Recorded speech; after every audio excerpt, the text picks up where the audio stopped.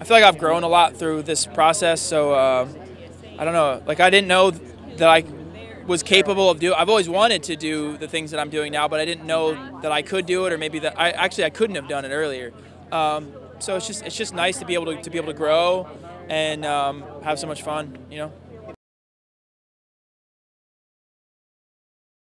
Yes, it's the voice. Yes, it's live TV. Yes, it's amazing, but like you have to grow to like fit in that container. You know what I mean? And like really do something impressive with it. Um, and so that's something that I'll take. You know, hopefully one day, you know, I'll I'll get to move on and I'll get to do other amazing things. And instead of being intimidated by it, I just say, hey, I'm just another guy like everybody else, and I'm going to rise to the occasion.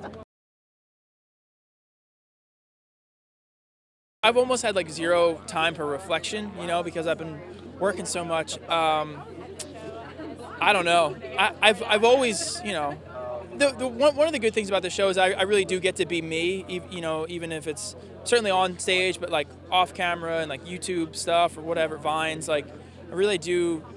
I feel like I'm celebrated for who I am, and I don't have to, you know, pretend to be somebody else. So, I don't know. I've always I've always been like this, but uh, it's just it's just amazing.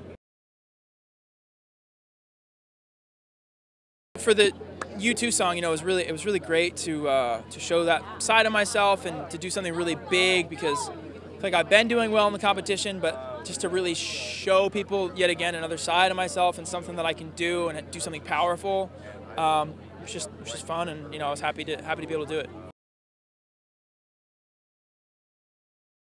Beyond the fact that we, I think we really do and like like each other and enjoy each other's company. Um, there's something to be said about you know, really, you wouldn't be able to relate to anybody else except for these four other people as far as how insane this experience has been. You know, like that's they all they all really get it. You know, so you can really bond over this craziness.